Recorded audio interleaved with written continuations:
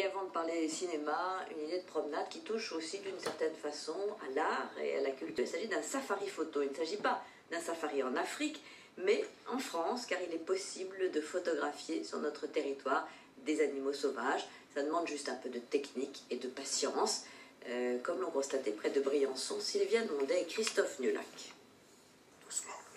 L'approche se fait en silence pour ne pas déranger l'animal. Une marche à flanc de montagne, à la lisière des névés, là où le bouquetin descend chercher l'herbe dont il a tant manqué pendant l'hiver. Voilà, allez, on va y aller tout doux là. Les apprentis photographes ont fini par trouver un vieux mâle isolé. La leçon va pouvoir commencer. Photographier un animal, c'est d'abord le regarder. On anticipe, on essaie de suivre leurs mouvements, de savoir où ils vont aller, pour essayer de réaliser la plus belle image de l'animal. En quelques heures, ils prendront le vieux bouquetin paisible sous toutes les coutures.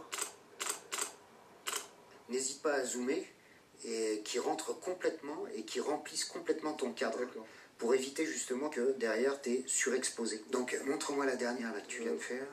Là tu vois déjà c'est mieux. Tu nous expliques autour d'une table la profondeur de champ, c'est pas évident, alors que si on nous l'explique et qu'on l'applique tout de suite après, bah, tout de suite ça rentre beaucoup plus vite. Le bouquetin est un animal protégé, il n'a rien à craindre de l'homme. À cette période, on peut facilement l'approcher car il ne pense qu'à manger.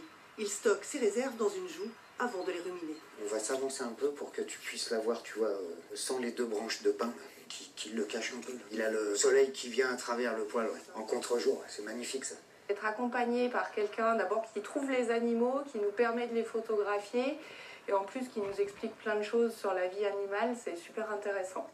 Un safari photo en montagne, cela demande patience et endurance. Il faut marcher en pleine nature pour faire ses clichés au plus près de l'animal. Demain, ils repartiront voir des mouflons sur un autre territoire.